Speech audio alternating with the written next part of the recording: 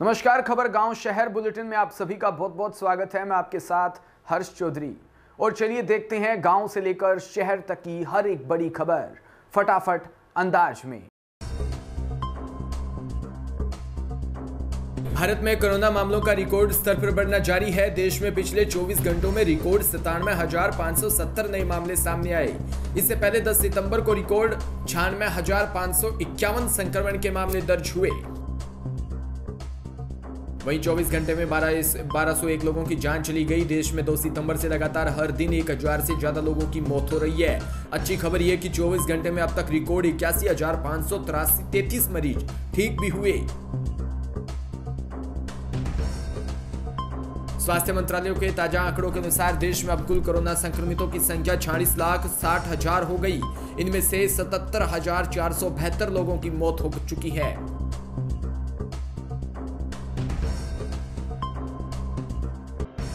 भारतीय रेलवे आज से 80 नई विशेष ट्रेनें शुरू करने जा रहा है। इसके लिए रिजर्वेशन की प्रक्रिया 10 सितंबर से शुरू हो चुकी है। ये ट्रेनें अभी चल रही है 230 ट्रेनों के अलावा होगी।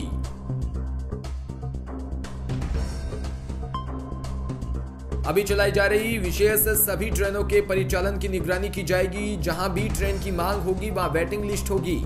वहाँ एक्चुअल ट्रेन से पहले एक क्लोन ट्रेन चलाई जाएगी।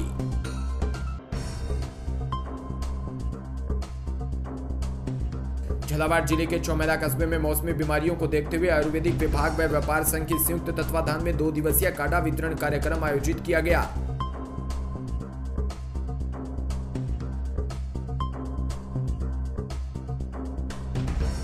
इसमें आयुर्वेदिक चिकित्सा व व्यापार मंडल के सदस्यों द्वारा काढ़ा बनाकर कस्बे के अलग अलग स्थानों पर निःशुल्क काढ़ा वितरण किया गया, जिसमें मौसमी बीमारियों से स्वास्थ्य ठीक रहे।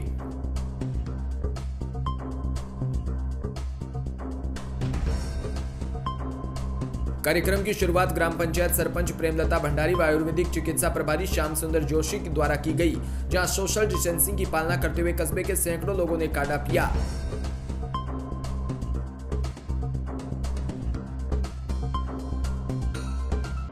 सूरतगढ़ में लालगढ़ से चलकर बठिंडा दिल्ली के रास्ते डिब्रूगढ़ को जाने वाली ट्रेन अवध असम एक्सप्रेस आज शनिवार से पटरियों पर फिर से दौड़ेगी। मार्च से बंद यह ट्रेन रेलवे बोर्ड के काफ़ी प्रयास के बाद शनिवार से पटरी पर आ जाएगी। लगभग छह महीने बंद रहने से इस ट्रेन के यात्री बहुत परेशान थे तथा उन्हें निजी वाहनों से कई गुना किराया देकर यात्रा करनी पड़ रही थी। यह ट्रेन राजस्थान के लालगढ़ से चलकर डब्बावाली, बठिंडा, जाखल, रोहतक, बहादुरगढ़ से होते हुए दिल्ली पहुँचती है।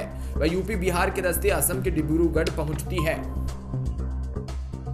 ट्रेन के सीटिंग अरेंजमेंट में रेलवे की तरफ़ से कुछ बदलाव किए जा रहे हैं। रेलवे के बीकानेर मंडल के मिली जानकारी अनुसार ट्रेन में सभी कोच रिजर्वेशन होंगे। सामान्य टिकट पर यात्री यात्रा नहीं कर सकेंगे।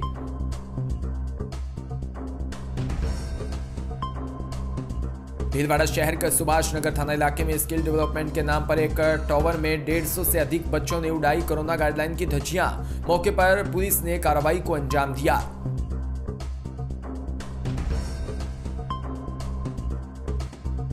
सुभाष नगर थाना प्रभारी पुष्पा कसोचिया ने बताया कि शुक्रवार को दोपहर थाने पर सूचना मिली कि मालन क्षेत्र में पूजा टावर की छत पर बड़ी संख्या में छात्रों को बैठाकर कोचिंग करवाई जा रही है। इस दौरान सोशल डिस्टेंसिंग की पालना नहीं की जा रही। पर पुलिस मौके पर पहुँची, जहाँ टावर की छत पर 150 से करीब 200 बच्चे कोचिंग करते मिले। इस दौरान सोशल डिस्टेंसिंग की पालना नहीं की जा रही थी। पुलिस को मौके पर कोचिंग कराने वाले तीन शिक्षक भी मिले। अलवर के बांसुर से बड़ी खबर, अलवर के बांसुर में युवक ने गले में फांसी का फंदा लगाकर आत्महत्या कर ली। अज्ञात कारणों के चलते युवक ने फांसी का फंदा लगाया।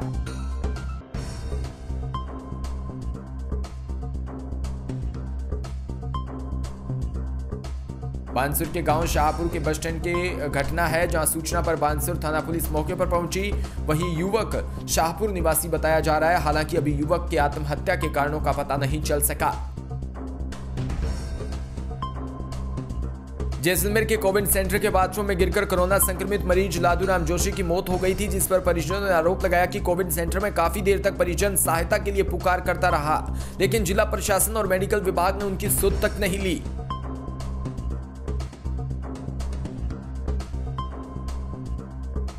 उपरोक्त घटना की तथ्यात्मक जानकारी के लिए भाजपा प्रदेश अध्यक्ष डॉक्टर सतीश पुनिया ने एक जाँच समिति का गठन किया। यह जाँच कमेटी मामले की जाँच करने जैसलमेर पहुँची।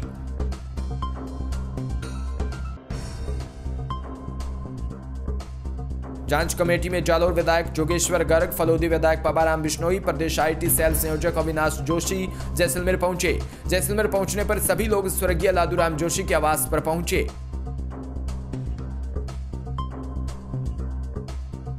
बारा के चीपा बड़ौद में विद्युत वितरण कर्मचारी यूनियन द्वारा अपनी मांगों को लेकर मुख्यमंत्री के नाम उपकरण अधिकारी को ज्ञापन सौंपा। ज्ञापन में विद्युत कर्मियों को चिकित्सा व पुलिस विभाग के समान ही पूर्व वेतन दिलवाने और वेतन कटौती न करने समेत पाँच मार्च 2020 का स्थगित वेतन दिलवाने की मांग की।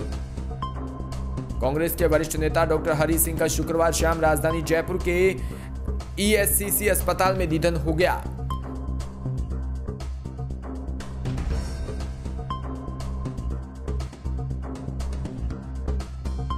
सीएम अशोक गहलोत पूर्व सीएम वसुंधरा राजे, कांग्रेस प्रदेशाध्यक्ष गोविंद सिंह डोटासरा और बीजेपी प्रदेशाध्यक्ष सतीश पूनिया सहित कई नेताओं ने डॉक्टर हरि सिंह के निधन पर गहरा शोक जताया।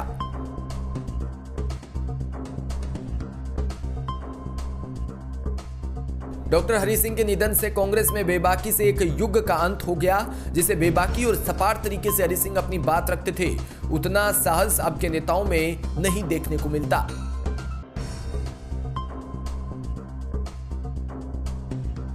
राजस्थान में कोरोना संक्रमण नित्य नए रिकॉर्ड बना रहा है। एक दिन पहले गुरुवार को रिकॉर्ड 1640 पॉजिटिव मरीज़ पाए गए, जिनमें शुक्रवार को सुबह की रिपोर्ट में 740 और नए मरीज़ सामने आए।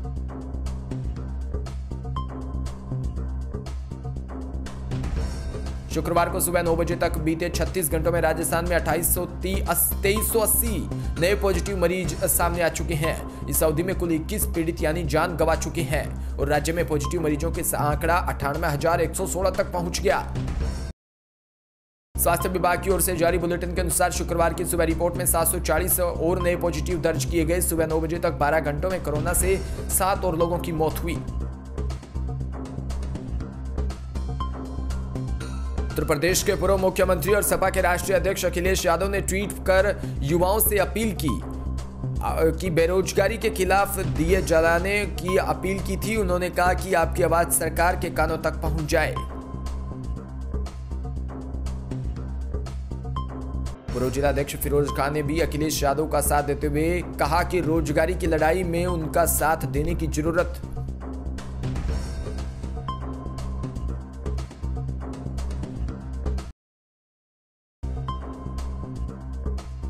उन्होंने कहा कि देश व प्रदेश में बेरोजगारी को प्रमुख मुद्दा बनाया है। देश में बेरोजगारी, गरीबी भूखमरी बड़ी है। असलम खां, गालिब खान नवीश, इकराम, तुर्की, आलम, राइन अब्बास खां आदि मौजूद रहे।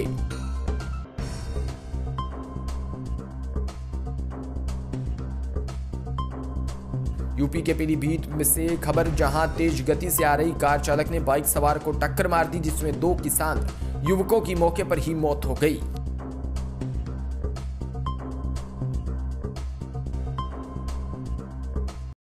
फ़िलहाल इस बुलेटिन में इतना ही और तमाम खबरों के लिए आप बने रहिए हमारे साथ। नमस्कार।